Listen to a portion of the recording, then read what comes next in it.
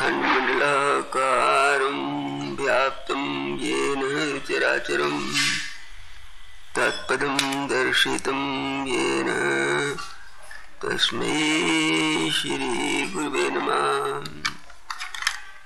ध्यानमूलं गुरोमूर्ति, पूजामूलं गुरोपदं, मन्त्रमूलं गुरोवाक्यं, मोक्षमूलं गुरुकृपा। श्री कर्ण सागर प्रभु जी के प्रेम भक्ति सुर बंधुओं, बहनों और भाइयों। प्रभु, हमें ऐसी भक्ति दो कि उसे कोई देख न सके। ये हमने बड़े प्रेम से गीत गाया। कारण ये कि भक्ति मन की चीज़ है। और जब मन नहीं दिखलाई देता तो भक्ति कैसे दिखलाई देनी चाहिए?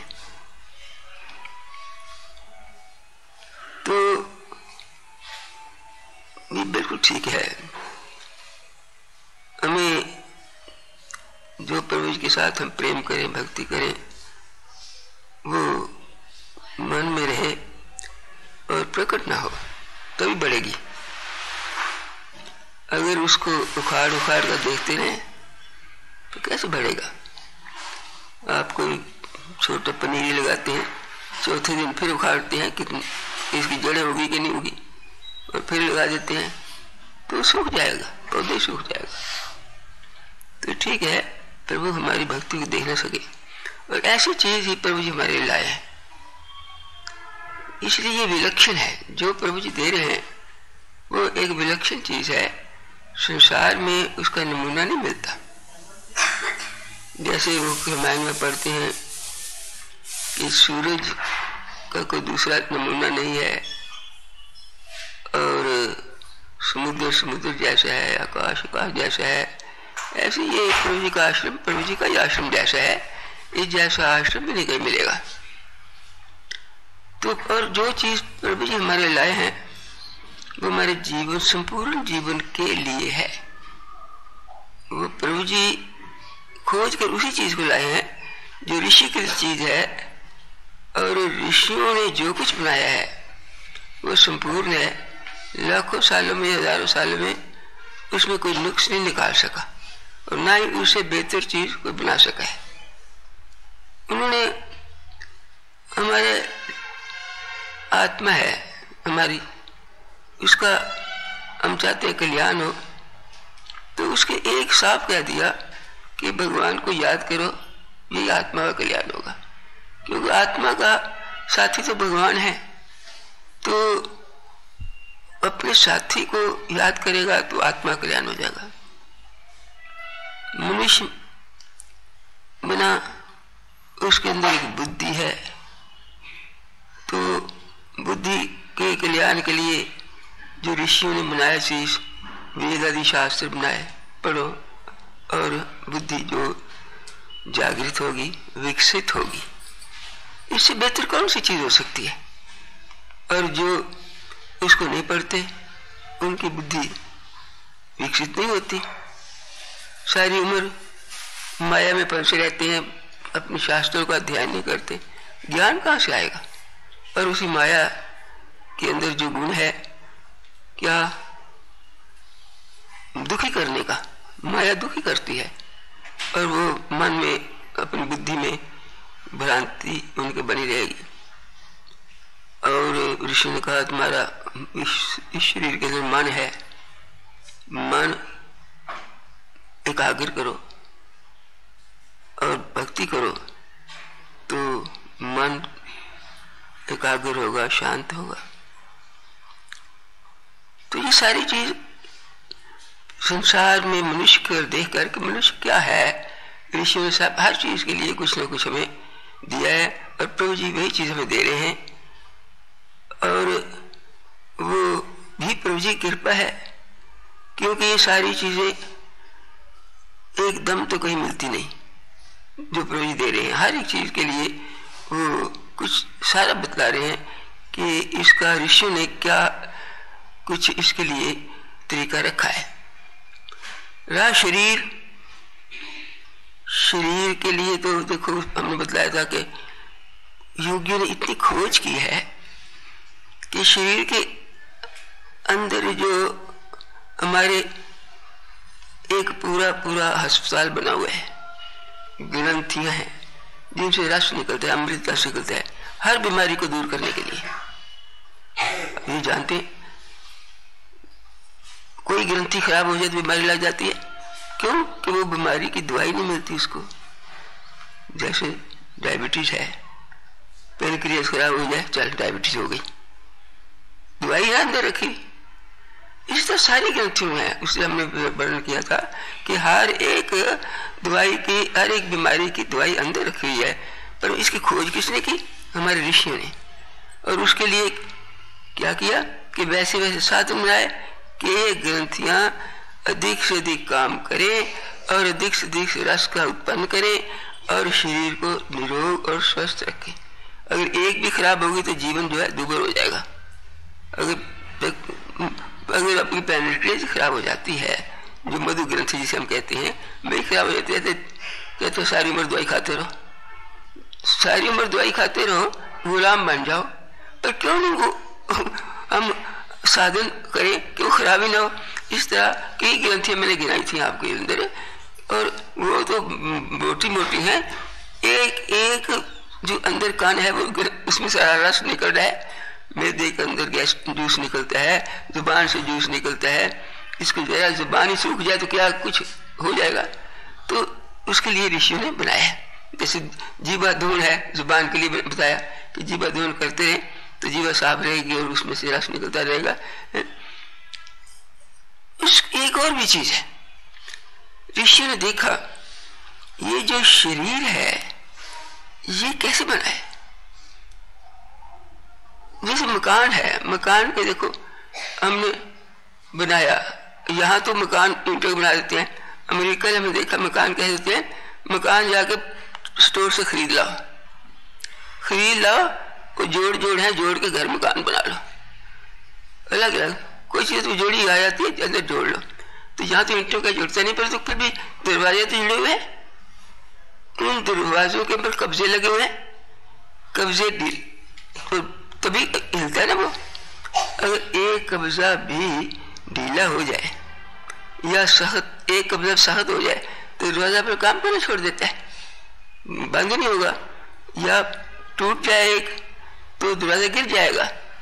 ऐसे शरीर के अंदर कुछ अंग बनाए हैं भगवान ने, जिनको जोड़कर ये ढांचा खड़ा कर दिया यह शरीर। छोटे छोटे अंग लाकर, जोड़े और ढांचा खड़ा कर दिया। अब हमारे लिए इन्होंने बताया कि भाई इन जोड़ों में को ठीक रखो। अगर एक जोड़ भी ढीला हो गया तो वो अंग नकारा हो जाएगा। और एक जोड़ भी सख्त हो गया तो दर्द ही दर्द रहेगी, काम नहीं करेगा। अब बाजू की देखो। बाजू का जोड़ ढीला हो जाए ना तो नीचे ही रहेगा, ऊपर नहीं उठ सकेगा। और सख्त होगा, ऊपर उठाओगे तो बाल भी साफ़ कर सकोगे अब देखना है हमारे हम लिए कि ऋषियों ने उन हर एक जोड़ के लिए फिर जो योग के आसन बनाए हैं, कितनी एक चमत्कारी उनकी विद्या है।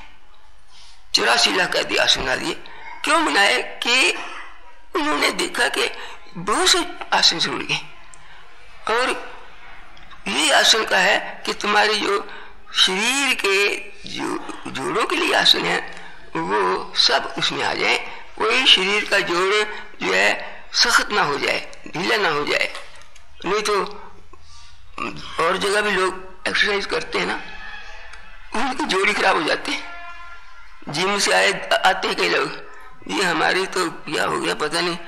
पीठ के जो डिस्क है, वो हो गई हमने कहा एक्सरसाइज गलत की ये कब कहा? ये तुमने तो वेट लिफ्टिंग शुरू कर दी।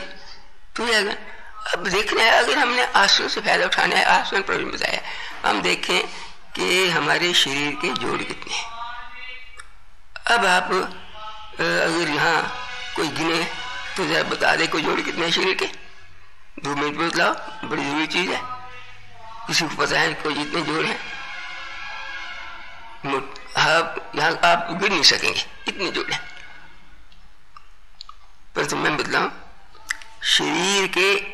102 जोड़ हैं। 102 जोड़। अब हैरान हो गए, इतने जोड़? शरीर हमारा हम गिनते ही नहीं है। और नहीं गिनते तो फिर उनके ज़रिए हम सारों को ठीक रखने का यत्न नहीं करते। उधर प्रभु ने आसन तो में दिए हैं। ये नहीं कि बस हम किसी एक जोड़ को निगलेक्ट करते हैं दूसरे करते रहे। तो फिर जो जिनको निगलेक्ट करते हैं, जिसको ध्यान नहीं देते वो खराब हो जाएगा और एक खराब होगा, सारा शरीर खराब हो गया। कि ये घुटने जो है, वो जुड़ जाते हैं, कईयों के कंधे जुड़ जाते हैं, कईयों की पीठ जुड़ जाती है, कईयों के जोड़ जोड़ों की संख्या। मैं आपको बतला आप याद रखना। देखो 102 जोड़ हैं। कैसे? जी नीचे शुरू करते हैं। पैरों के जोड़ गिनो कितने हैं? चौदह और चौदह, अट्ठाई। चौदह एक तरफ़ उंगलियों के, चौदह दूसरी तरफ़ होंगे। अट्ठाईस जोड़े। फिर उसके बाद आओ, टखनों के। दो जोड़ टखनों के हैं। और फिर घुटनों पर आओ। दो जोड़ घुटनों के हैं। फिर आप हिप्स पर आओ। दो जोड़ हिप्स के।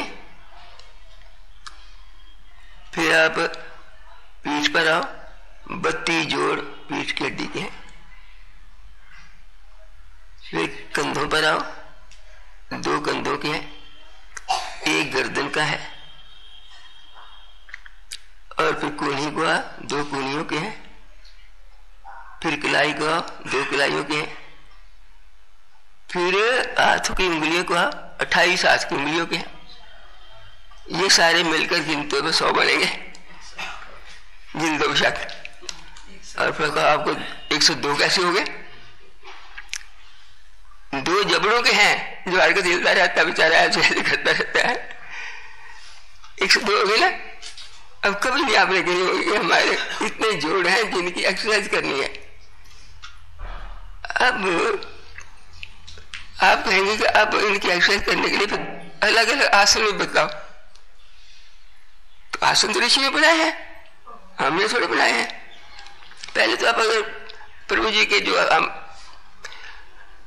जीवन तत्व कराते हैं तो जीवन तत्व के देख लो। सर्वोदान आसन कराते हैं ना। हाथ जब ऊपर ले जाते हैं ना तो मुंडों के अगर सख्त हो तो हाथ ही ऊपर जाएँगे। कंधों के लिए होता है। पैरों को तनते हैं तो पैरों की उंगलियों के लिए होते हैं। टखनों में तने हैं, टखनों के लिए होते हैं। देखो, एक सर्वोत्तान आसन में कितने जोड़ों की एक्सरसाइज आ गई। हम कहते हैं, वैसे ही है, वैसे नहीं है। इसमें बड़ा सारी शरीर को और बाकी बंगों को साथ लाभ पहुँचता है। ये नहीं कि इन्हीं के लिए है। और आप नाभि चाल में आओगे तो स्कंद चाल में आओगे तो। स्कंद चाल में कंधों के लिए है। खास तौर पर हिल देंगे कंधे हिलेंगे तो कंधों के अंदर लचक नाड़ी चालन नाड़ी चालन में आपको देखो, आपके साथ जो कंधे भी हैं और जो हमारे हिप्स हैं, इनकी इनकी भी जोड़ी को एक्सरसाइज होती है। वह पग चालन करते हैं। पग चाल में पैरों के टखने हैं। उनका होता है, ना रोज टखने साथ हो जाएँगे। बाल मसल करते हैं घुटनों के लिए है और कंधों के लिए है और कूलियों के लिए भी है। ये जोड़ों की देखो कितनी एक्सरसाइज है। और साथ है ना? साथ में जानू प्रसार है। जानू प्रसार तो खास है, ही हिल हिप के लिए। हिलता हिलता। अगर ये सहत हो जाए ना तो आदमी का लक मारा जाता है। कमर मारी जाती है। ये देखो। ये प्रभु जी ने जो बनाए हैं, इनमें शरीर के अन्य लाभ होता है, परंतु जोड़ों को कितना लाभ होता है? और फिर आपके जो यौवन तत्व है, ये तो चार ही हैं। गर्दन को देखो गर्दन को लाभ होता है और कटी चालन है कटी चक्र है कमर की हड्डी को लाभ होता है। भुजा चक्र है कंधों को लाभ होता है। और फिर पग जंगाचाल है जंगाचाल हिप्स को हाँ, लाभ पहुँचता है। ये तो हुए प्रभु जी के इस लेकिन दूसरे जो आप किताब में आसन पढ़ते हैं उनमें अब एक एक अंक को लेते चले जाएँ। तो आप उनमें से पैरों की उंगलियों के लिए जब आप उष्ट आसन करते हैं ना, पैरों की उंगलियों तना तना जाता है। उष्ट आसन में। तो पैरों के लिए, उंगलियों के और पैरों की टखनियों के लिए भी ये उष्ट आसन जो है, ये बहुत लाभदायक है। और और बहुत से आसन हैं।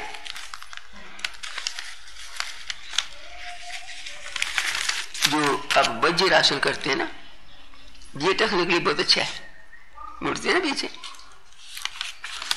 और पागी चालन जो करते हैं, वो तो गिना दिया था, वो भी है। फिर आप ये घुटनों के लिए कौन सा आसन है? घुटनों के लिए भी आपके लिए पास बहुत कई आसन हैं। मगर ये दो, तीन, चार आपको ऐसे मिलेंगे, जैसे बताए ना आसन आप करते हैं, घुटने के लिए। उत्कुट आसन करते हैं। अब आप, ये इसलिए कि आपने सारे जोड़ों की एक्सरसाइज करनी है, कोई एक एक आसन चुन सकते हैं, उसको छोड़े नहीं। और रोज करेंगे तो जो हमारे जो जोड़ है ना वो ठीक रहेंगे।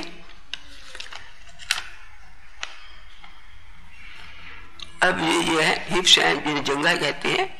जंगा के लिए आपको जो गरुड़ आसन है,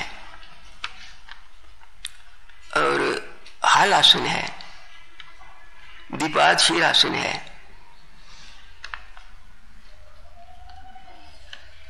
और इसी तरह पीठ के लिए इसमें कहा बत्ती गोटे हैं।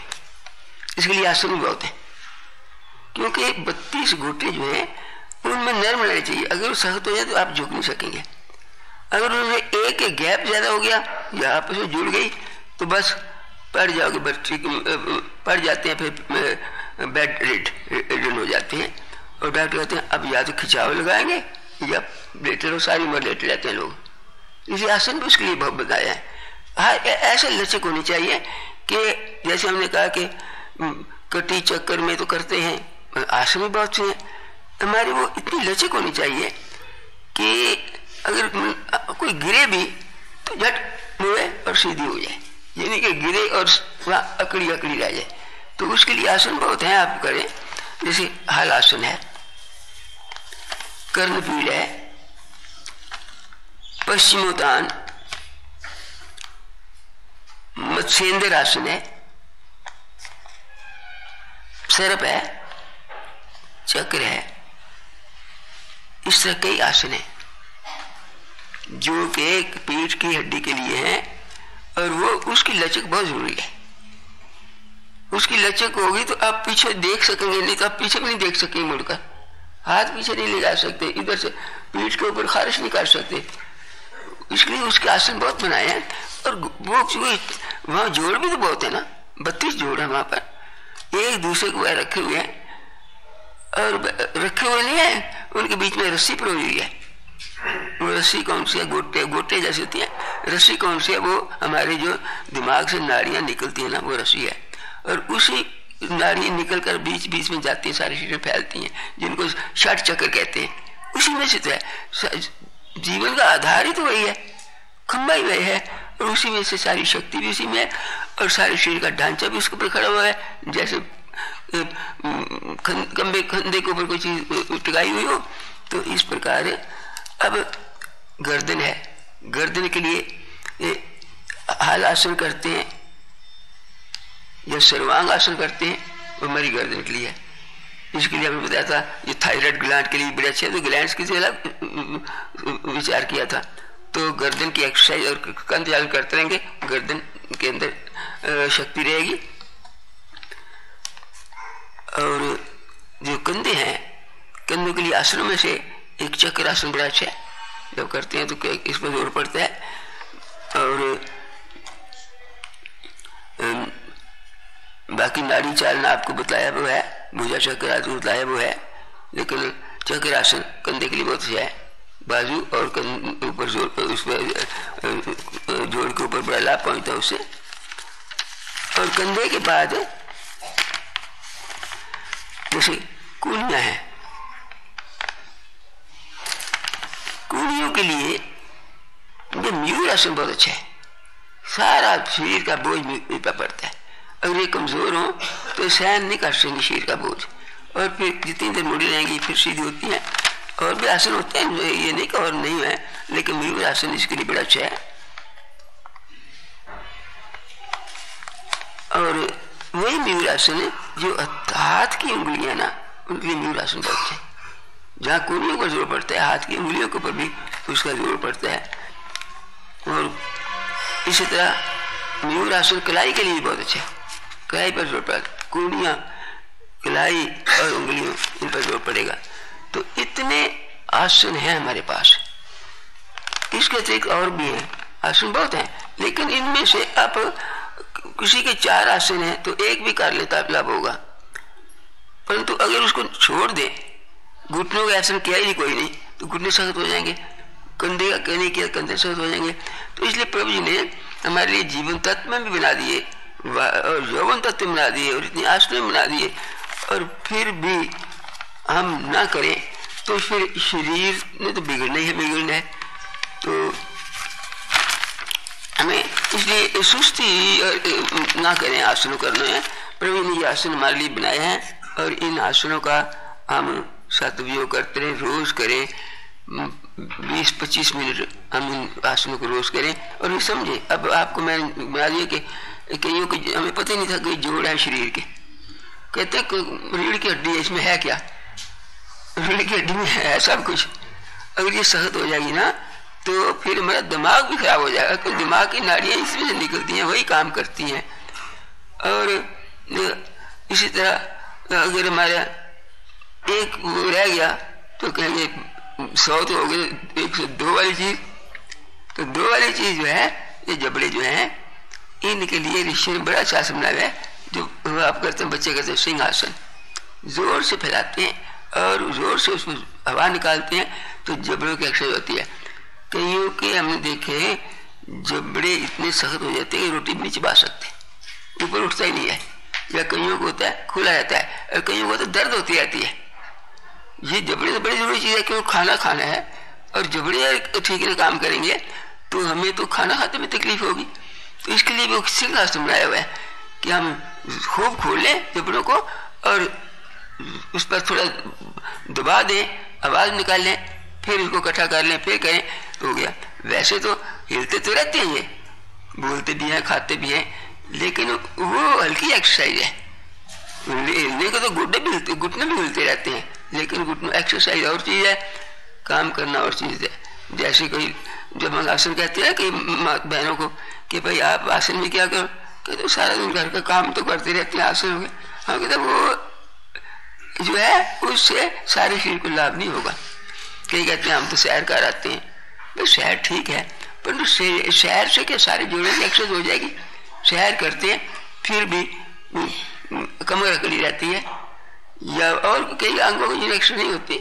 शहर में वो जग रहते हैं। योग में तो एक संपूर्ण चीज़ है। जैसे बैलेंस डाइट डॉक्टर कहते हैं बैलेंस डाइट होनी चाहिए। योग के आसन बैलेंस एक्सरसाइज है। और इस जैसी बैलेंस एक्सरसाइज कहीं और है नहीं। तो आपका बताया कि ऋषि ने देखो, हमारी आत्मा के लिए बना दिया, हमारी बुद्धि के लिए बना दिया, और मन के लिए बना दिया, और शरीर के लिए बना दिया। तो ये ऋषियों का एक चमत्कार है। प्रभु जी ने इसमें से अपनी तरफ़ से नहीं काम लाया। वो उन्होंने ऋषियों की वही पुरानी विद्या खोज के लाई है, जो भूल चुकी थी। किताबों में थी, लेकिन किताबों को भी तो सारी पूरी तरह समझ नहीं आती जब तक ज्ञान ना हो, जब तक उसमें खोज ना की जाए। तो इसलिए हमें अपने शरीर के लिए ये नहीं कहना कि हम बस जो काम करते हैं तो एक्सरसाइज हो जाती है, या सैर करते हैं, एक्सरसाइज होती है। वो काफ़ी नहीं है। आसनों में सफ़ाई के लिए जैसे आदि कोई दूसरा चीज़ नहीं है उसके मुकाबले में। नीति के मुकाबले में कोई चीज़ नहीं है। उसी तरह और जो षटकर्म चीज़ें हैं, उनमें कोई है। प्राणायाम के मुकाबले में कोई चीज़ नहीं है। इस आसनों के मुकाबले में भी कोई और चीज़ नहीं है। इसको छोड़ नहीं सकते और इसको करते रहेंगे तो शरीर चलता रहेगा। इसमें कोई कठिनाई भी नहीं आती। समय भी थोड़ा लगता है, और स्थान भी चाहिए हमने रेस करनी है तो मैदान चाहिए। खेल खेलनी है तो उसके लिए भी सामान चाहिए। इसके लिए तो एक कुछ भी ना हो, नंगी ज़मीन पर किसी बैठ घास पर लोग कर लेते हैं। इतना आसान है। घर में है, एक कमरा है, उसमें भी हो जाता है। कुछ कमरे में नहीं तो छत पर जाके भी हो सकता है। ये तो क्योंकि योग के अंदर सादगी, सरलता और बिना खर्च, ये सब कुछ चीज़ तो हमें बताना था आपको ये दिन आपको शायद नई चीज़ पता रही कि हम सारे जोड़ों की एक्सरसाइज करें। बोल श्री सच्चिदानंद महाप्रभु। श्री पूरन पार ब्रह्म भगवान की जय।